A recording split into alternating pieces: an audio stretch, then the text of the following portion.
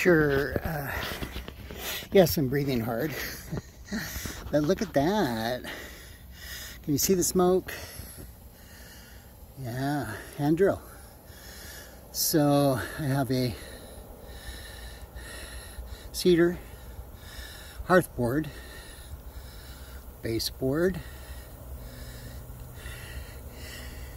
or fireboard as I like to call it. and then I have short, kind of a short spindle. And the wood's pretty old.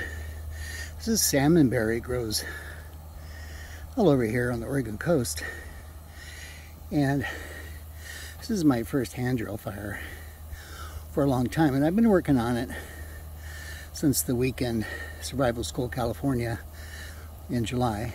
And uh, since I got home, and uh, I've got a pretty good blister, see if you can see it here. Right there on my left pad. Um, but, you know, I did the hand drill for so many years with great success, so uh, I'm always humbled by fire by friction, and hand drill is a good way to get humbled. Um, but it's a really wonderful technique. Stick with it, you'll get it. And here I'll show you, there's a little bit of coal. There, you can see that coal still smoking. I have a little chip under there to catch that coal. Um, so, yeah, pretty thrilled. Yeah, the conditions are perfect for it, but, you know, we do this in the winter too.